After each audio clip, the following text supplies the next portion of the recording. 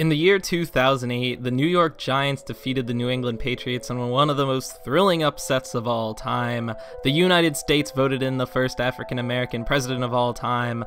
On April Fool's Day, YouTube rickrolled all of its viewers by redirecting all featured videos on the front page to Never Gonna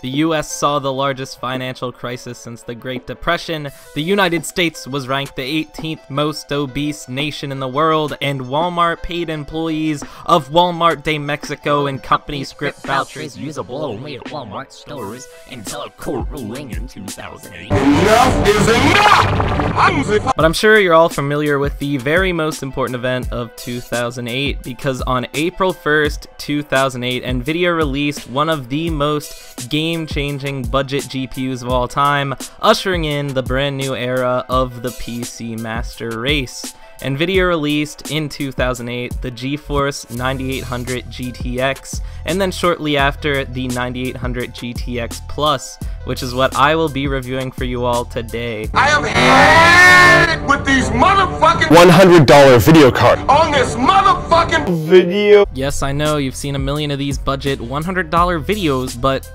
hear me out. I'm gonna do my best to make this worth your while. the GeForce 9800 GTX Plus is the only GPU released by NVIDIA bearing the Plus distinction, meaning it's basically a ramped up version of your standard 9800 GTX. You get a slight bump on the core clock of about 100 megahertz. Not really a huge difference maker, but they decided to rebrand this GPU specifically for that little uh, bump and boost clock, and I believe the memory clock's a little bit higher. But other than that, not really that huge of a difference, but I do like the little plus logo on the GPU. Looks very fancy, makes me feel good about myself. The 9800 GTX Plus, as far as specs go, features 128 CUDA cores, a 738 MHz core clock, and 512 megabytes of DDR3. And of course, everyone's favorite part of these old NVIDIA GPUs, the prehistoric cooling solution known as the blower style fan.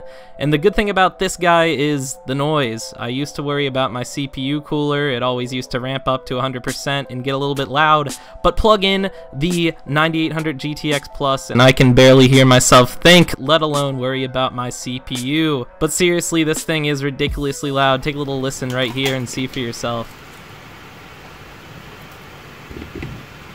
But luckily for you guys, I powered through this noise so I could do some benchmarks for you all and let you know if this GPU still runs the latest titles at max settings.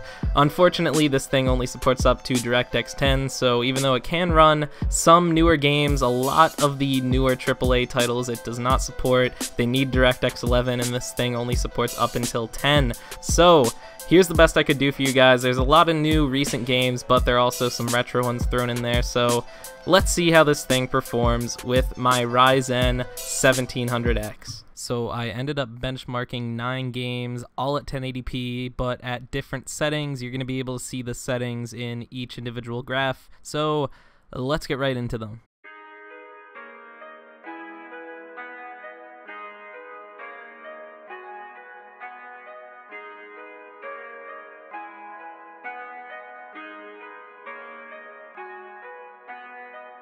Silky Beat.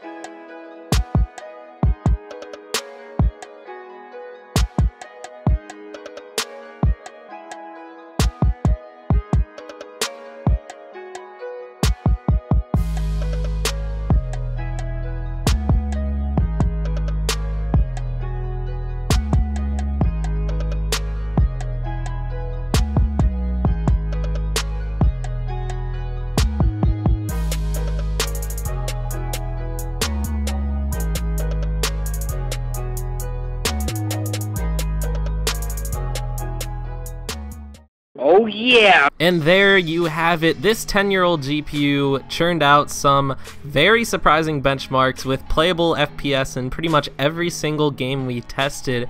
Now, bear in mind, this GPU was paired with one of the new Ryzen uh, 1700Xs, so the CPU I have in here is kind of overkill for a GPU of this caliber, so it kind of does you know, put things into perspective in your standard budget build where you have like a 9800 GTX Plus and like a Pentium, it's not going to perform as well. You're going to have some bottlenecking. But here, uh, no CPU bottleneck at all. That wasn't a problem. Uh, the GPU was the only thing holding this PC back, and you really got to see the full potential that this graphics card has. And I was very surprised. The GPU wasn't even overclocked in any of these benchmarks, so uh, you could even add another 5 FPS maybe onto the benchmarks as a whole if you overclock this GPU to the max. I have heard it's a pretty good overclocker, but it does even it makes it even more loud than it already is, which is kind of a, a sacrifice because this card, like I said, with that blower style fan, uh, it's definitely gonna hurt your eardrums a little bit. But despite the benchmarks coming out pretty decently, uh, the main problem with this GPU is the whole DirectX 10 thing. There's just so many games that this GPU just isn't even compatible with, even though I feel like the GPU itself is powerful enough to play a lot of new games that aren't supported by the GPU. For instance, Star Wars Battlefront, a very well optimized game, uh, does not support DirectX 10, even though I'm sure this card, if I'm not sure you know what the limits are if there is a way that Star Wars Battlefront could be DirectX 10 compatible, but uh, there definitely was some performance left on the table, and I feel like if this GPU had DirectX 11, uh, it still would be relevant today, but with DirectX 10, it's something I really have trouble recommending to go out and buy when there are so many more current options on the market. But as a whole, if you're just looking to play around with some old PC parts with those great vintage designs, I love the look of this card. So retro, so pleasing, back when GPUs had the flashy designs. It's a lot of fun. I liked messing with this card, even though it was very, very loud and very obnoxious. It's still charming, and it's great to see that GPUs like this can still play modern games. So let me know what you all thought in the comments section below. Leave a like rating if you like the video, and if you're new, you can subscribe. Uh, go for that if you'd like. And if you're interested in purchasing this GPU, please use my associate links down in the description. I get a little kickback, and it helps out the channel a lot. So, see y'all later. Have a great day. Peace.